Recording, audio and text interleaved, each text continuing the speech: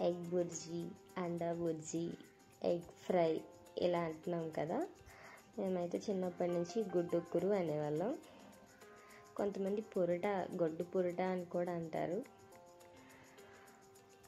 నేను కొంచెం చేంజ్ చేసి వండుతాను ఎప్పుడు.